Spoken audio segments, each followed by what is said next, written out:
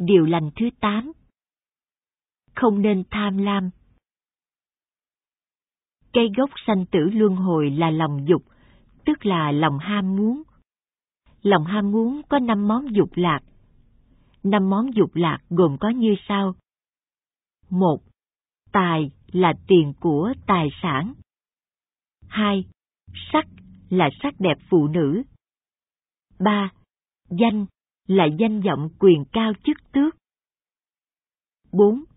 Thực là ăn uống. 5. Thùy là ngủ nghỉ. Con người trong thế gian không ai tránh khỏi năm món dục lạc này. Cho nên, con người ví như là những tay sai của nó. Khi nó không sai thì thôi, chứ nó sai bảo thì không có người nào không làm. Vì thế, tham muốn mong cầu được toại nguyện thì sanh tâm vui mừng hớn hở, còn ngược lại thì buồn khổ, sầu não. Lòng tham muốn tiền tài của con người thì vô tận. Nó là cái túi không đáy, có một thì muốn được mười, có mười thì muốn được trăm, cho nên nó chẳng bao giờ thấy đủ. Thế nên cả đời phải chịu nhọc nhằn, lao khổ, không bao giờ có những phút nghỉ ngơi ngồi chơi thoải mái.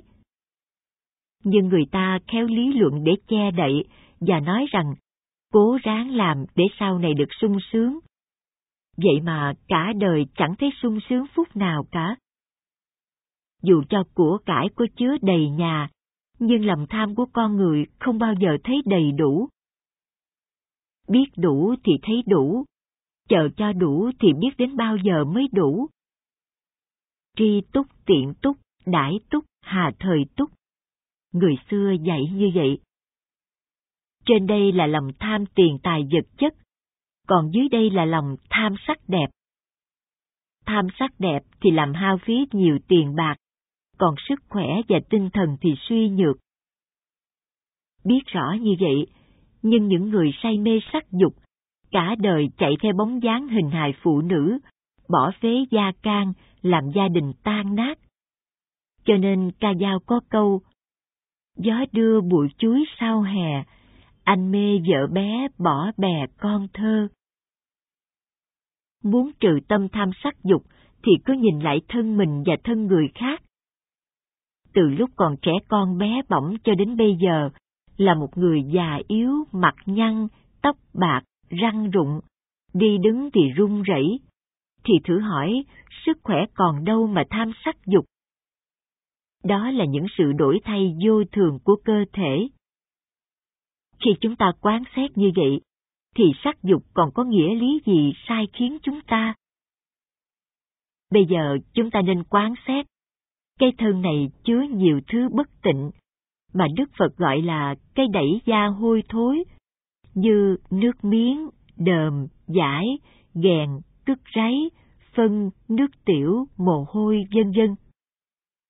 Nếu quán xét như vậy chưa đủ sức diệt trừ tâm sắc dục, thì nên quán cử tưởng như quán tử thi sình thối, quán dòi bỏ rút rỉa, quán chó sói kênh kênh đến cắn xé thịt, vân vân.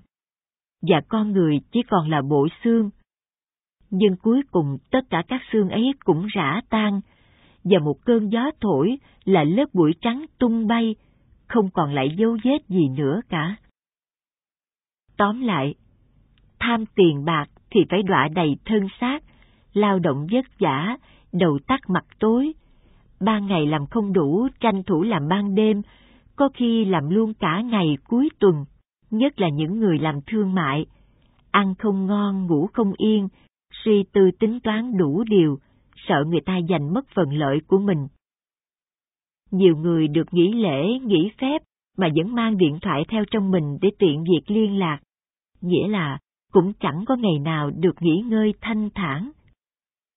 Người không ham muốn có nhiều tiền, của cải tài sản, là người ít muốn biết đủ, nên được thảnh thơi an nhàn. Người càng có nhiều nhu cầu cho cuộc sống thì càng khổ cực sát thân. Người tu hành ăn uống đơn giản không đòi hỏi ngon dở, chỉ ăn để sống một lần trong ngày là thanh thản, an lạc, vô sự. làm người muốn an nhàn thanh thản, thì nên tập ăn cái gì cũng được, miễn ăn để sống là được. Còn ngủ ở đâu cũng được, không cần phải ở nhà cao cửa rộng, đầy đủ tiện nghi, hoặc phải ăn cơm nhà hàng. Người tu sĩ Phật giáo chân chánh ngày xưa chỉ có ba y một bát, đi xin ăn, ai cho gì ăn nấy.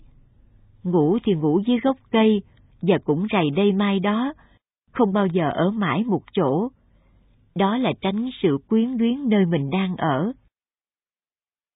Còn ham danh vọng quyền cao tước trọng, thì phải chịu khó vào luồng ra cuối, đút lót hối lộ, mà vẫn nơm nớp lo sợ, ngày nào đó sẽ có kẻ khác vào lấy mất ghế, chức vụ của mình.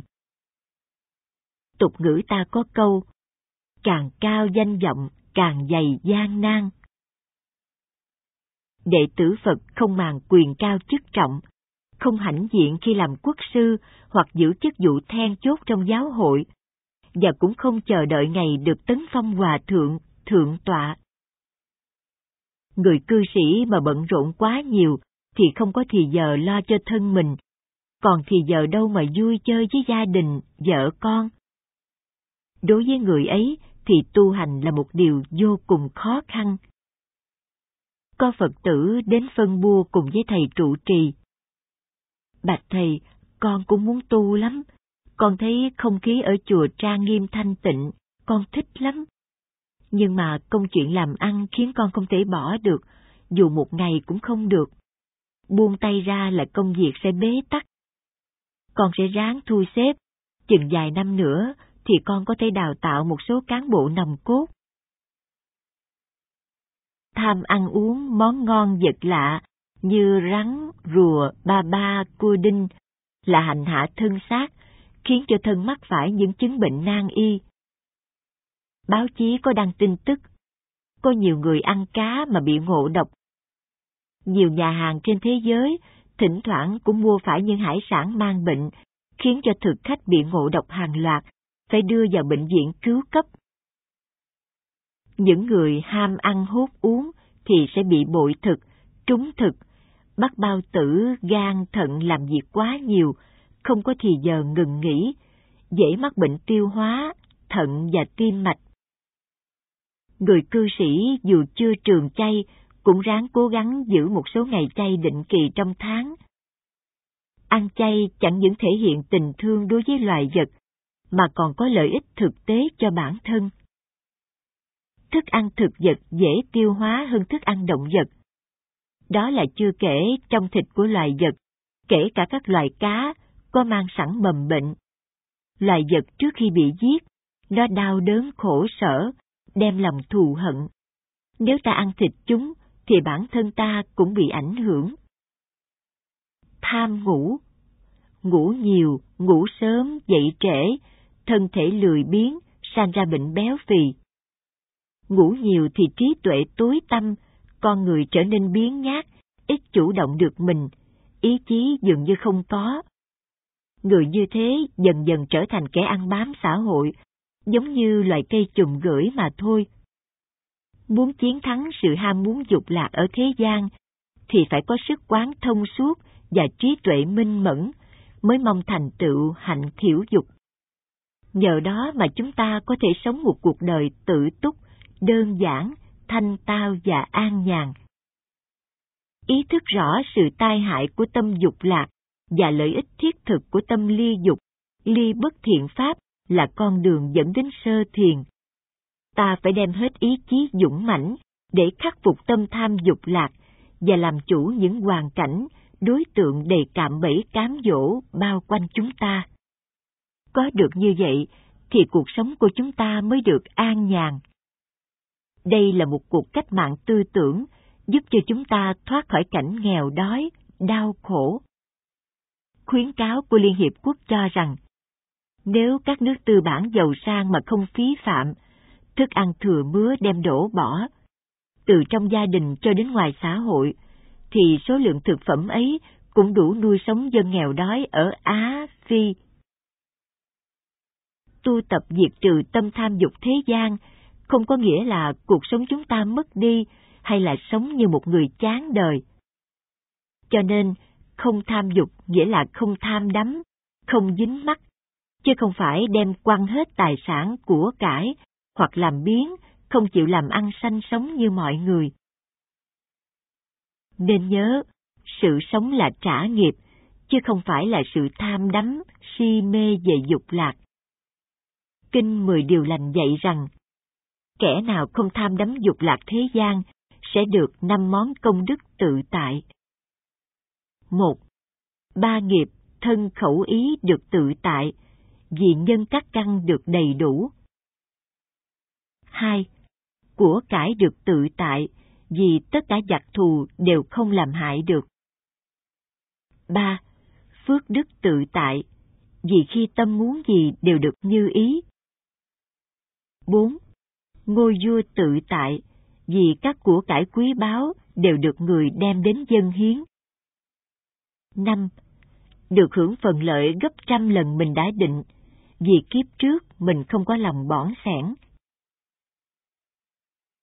Người đệ tử Phật chẳng những từ bỏ tật tham lam mà còn hành hạnh bố thí. Bố thí tức là hạnh buông xả, buông bỏ, không chất chứa tài sản của cải mà còn chia sẻ cho người nghèo khổ bất hạnh. Không màng công danh phú quý, không bận tâm tranh danh đoạt lợi. Hằng sống với tâm buông xả thì tâm trí thảnh thơi, dạo chơi thanh thản, giấc ngủ an lành, ít bệnh, ít khổ. Người có nhiều tài sản, của cải, danh lợi thì sẽ mệt mỏi nhiều và sẽ đi chậm hơn những người có ít tài sản trên hành trình về xứ Phật, tức là giải thoát khỏi sanh tử luân hồi.